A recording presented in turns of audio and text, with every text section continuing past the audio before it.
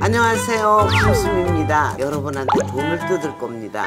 23살 2천원. 뭐했냐 너 여태 3천원이 뭐냐 이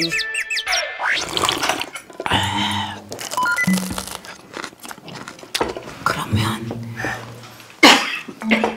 아우 답답해. 아! 회사가 너무 가기 싫어요. 가지마 이 자식아. 너는 가난을 좋아하는 놈이야. 며칠 후 며칠 후 요당 나올 너가